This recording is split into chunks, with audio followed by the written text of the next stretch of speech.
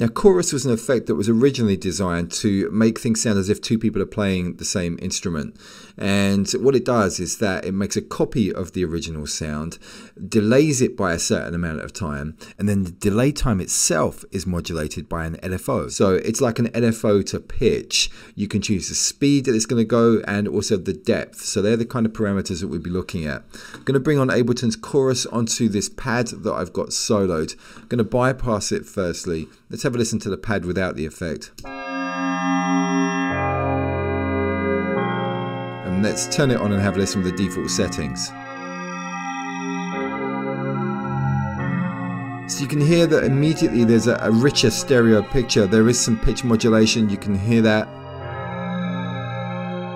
And what I want to do is go through some of these parameters for you. I'm going to give you a little bit of a tour so you can get an idea of the possibilities. When it comes to working with chorus, often what can happen is that it has a sense of sort of gelling a sound into the mix. It almost blurs things. So if you apply chorus, often it can take away focus. That could be the whole purpose in using it. You know, you've got a sound that's sticking out too much and you think, right, I need to just get this blended better with the background. So that's one of the reasons why you use a chorus. You could be using it as a special effect, a dramatic effect. I'll show you how you could do that later on. So lots of different ways that you might want to use a chorus. Let's have a look at these parameters then there are two parallel delays. That means these are running at the same time. And so you can choose to have them running at the same time or actually have only one. So I can say here, turn off delay two. I'll come back to that fairly soon because I want to focus on delay one first.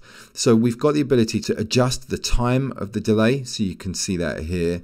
It's in milliseconds and it goes up to 20. So we can go for the lowest 0.01 millisecond up to 20 milliseconds. So that's the time for the delay. So there is a copy of the original sound 20 milliseconds later.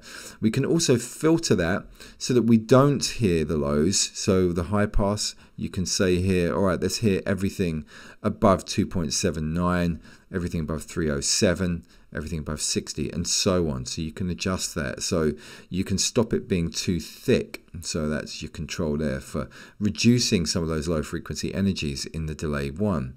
So that's there. And we have some other parameters. What I'll do is I'll get this playing so you can get a sense of it. What I'll do is also bring the high pass down so you can really get to feel the whole thickness of the sound. Let's have a look with the maximum delay time on delay one the other thing that we've got is this LFO modulation. Okay, and what I'll do is I'll take this to 100% wet so we can hear this in more detail. If I increase the amount, that's the depth of the uh, pitch modulation. Let's speed up the LFO. So it's all like a real kind of trippy flavor with that going so slow.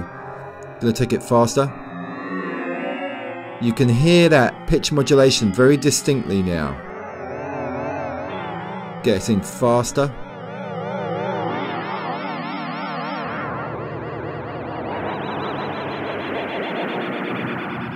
Very distinct LFO to pitch now.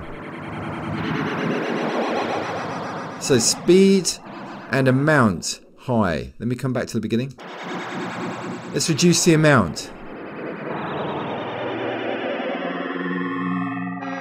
Adds a little kind of shimmery texture at lower amounts.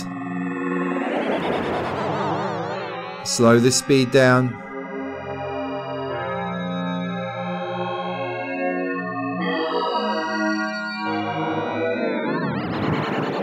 Very distinct when you go to the high amounts. Now, Ableton being Ableton, they've flipped in this little thing here times 20. Now when we flick this switch on, it gives us extreme amounts. So for you sound designers out there, you might want to flick this on. I'll show you what happens. So let's just do it normal first and I'm going to flick it on.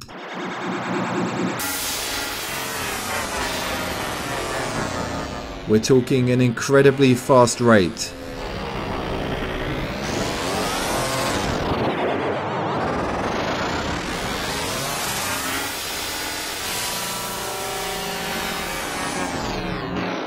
So that sort of thing would be great for automating, wouldn't it? You know, that's a very, very powerful extra addition to be put inside.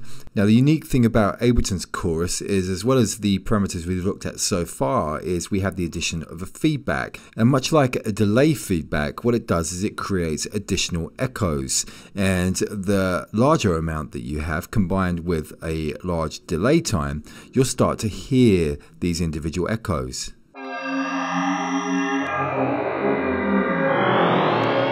It's almost like a comb filter kind of effect. Let's go faster.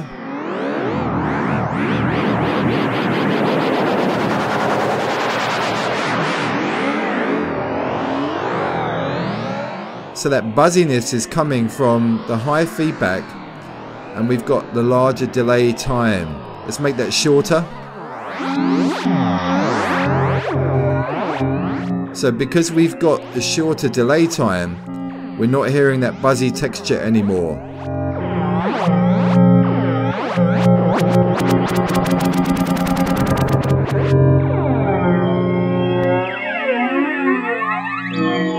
Very different effect.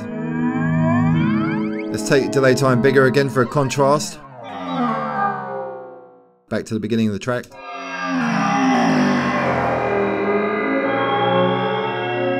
So at the higher delay times, you get to hear it's almost like little grains, very similar in a way to sort of granular resampling. So that's what's going on there. The amount of echoes coming back.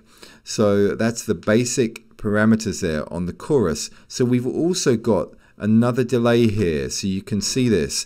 Now, if I switch this on, basically what happens with the fixed mode is that only delay 1 is going to be modulated by the matrix over here. Let's increase the size of delay 2 and take the feedback up.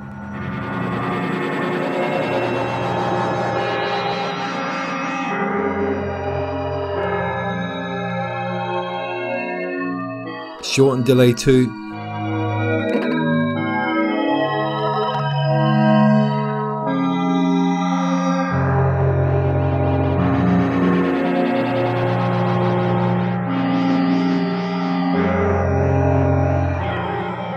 Let's take delay one thinner.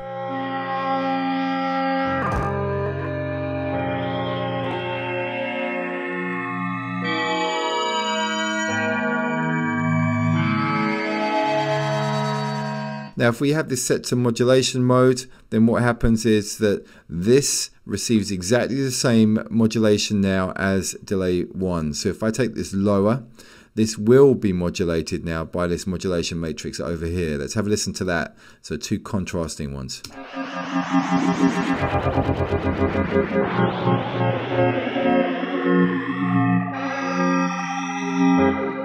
This is definitely the one if you're after something a bit more eccentric. Go even shorter on this one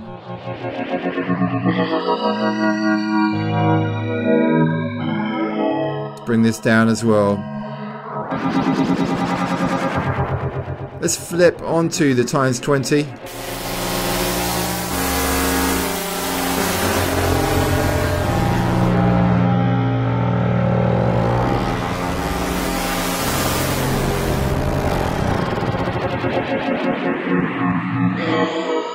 So you can see there is a whole world of possibility there. Now for this track, I think I'm going to go for something really quite subtle. And so I'm going to take the dry wet mix back. Let's take the feedback down for the moment. The amount I'm going to do is probably somewhere around here. I'm going to test it in a minute. I'm going to do delay 2 off. And let's take the high pass just up a little bit, possibly around 300 or so. A bigger delay time, I think, but I'm going to confirm that when I play that. Let's have a listen. And you can see how it really does push it back in the mix. Sometimes you need to bring up the overall level afterwards. Let me just have a play around a bit. I don't want it to be too obvious with the modulation in terms of hearing a rapid movement on the LFO. Just taking this, yeah, too much there. Take the 20 off as well, that was distracting me, I didn't realise that was on.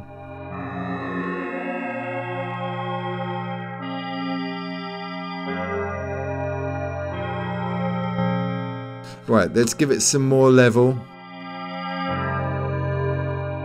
And see how that sits in the mix.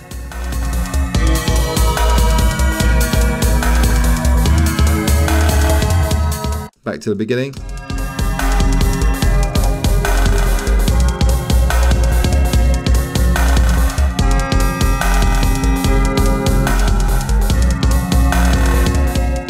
Just easing back on the dry wet mix here. I don't want it to be oversaturated with the chorus.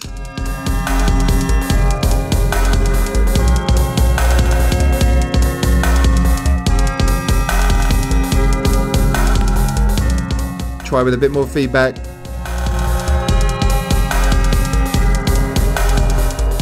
Too much.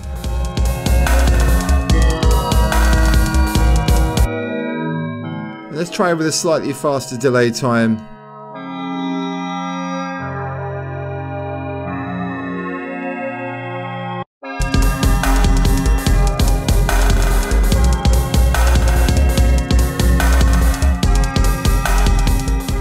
Yeah, I think it's working quite nicely. So a real large range of possibilities there from the chorus effect. And you've seen with the times 20, we've got the ability to start going to really quite out there sound design possibilities.